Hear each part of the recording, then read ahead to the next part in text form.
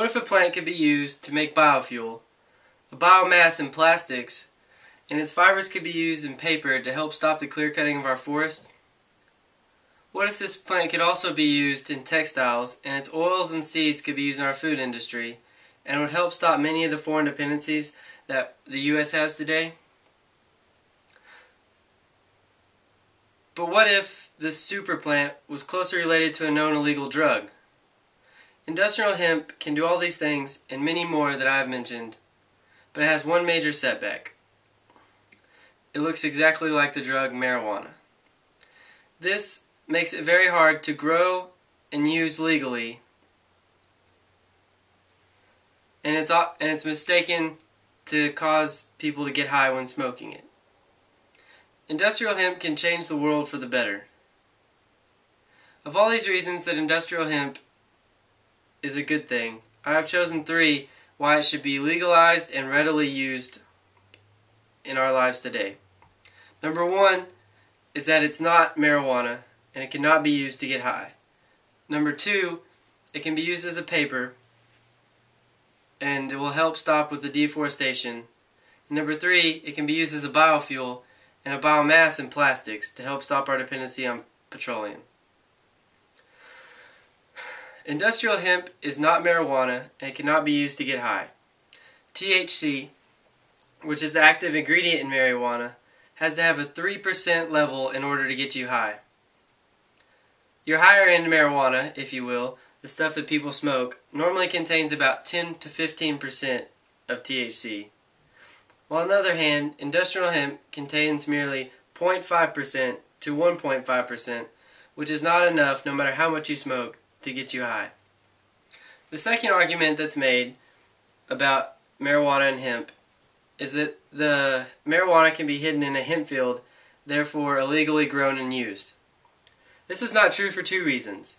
One is the marijuana and industrial hemp would cross-pollinate, and after this, the first generation, the THC levels in the marijuana would drop in half, and after, and the second generation would drop into half after that, and so on, causing it to lose its THC and therefore value. After the first generations produced, then it's no longer wanted by the consumer of marijuana.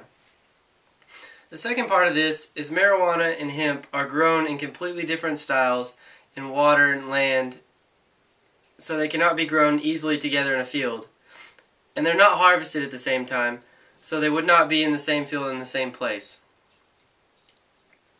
Now that we've established that hemp is not marijuana, we start to use it to benefit our lives and to help save our planet. Best way to do this is by making hemp paper.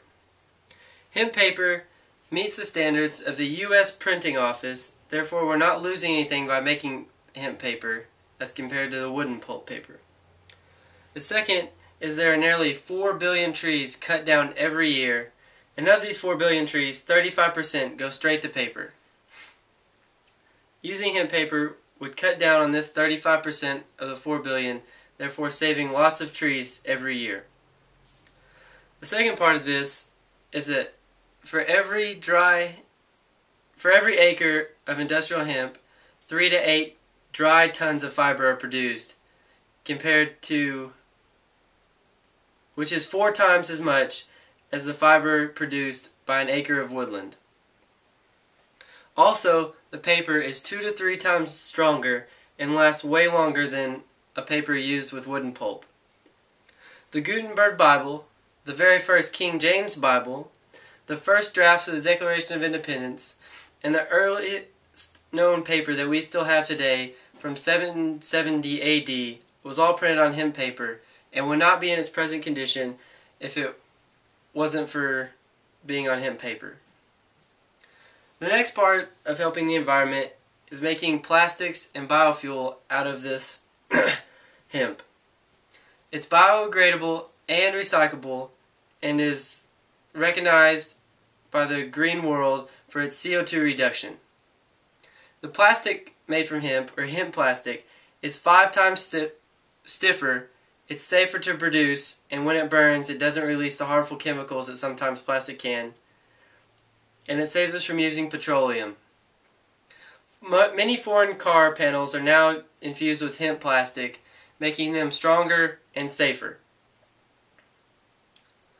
Now, when we're making hemp as a biofuel, there are 70 qualities which make it a good target for a biofuel. The first is that it doesn't take great soil to grow in, and it can be grown in lots of uh, inhabitable places for most plants, making it very easy to grow all across the country. The second, and more important, is that it's not a crop. Therefore, it doesn't fluctuate the economy, causing food shortages and skyrocketing prices on a short year, such as corn. A professor of Professor Richard Parnas says it's not only important to have a crop that is easy to grow, but also a crop that does not compete with the food source, which causes major economic instability. Now, now that we know that industrial hemp is not a drug, what's not to love? You can use a paper, you can use it to make paper, which helps stop with deforestation problems. You can use it to make plastics which do not use petroleum, biodegradable and recyclable, as long as a biofuel that does not compete with the food supply and helps stop market instability. Henry Ford says it like this Why use forests that are centuries in the making, or mines that have taken ages to lay down, when you can get equivalent products from these hemp fields as you would from a mineral or forest product. The possibilities of hemp production are limitless. Once it's common knowledge that it's not a drug and it cannot be used to get you high, hemp can help the world become a better place with less dependence on non renewable resources.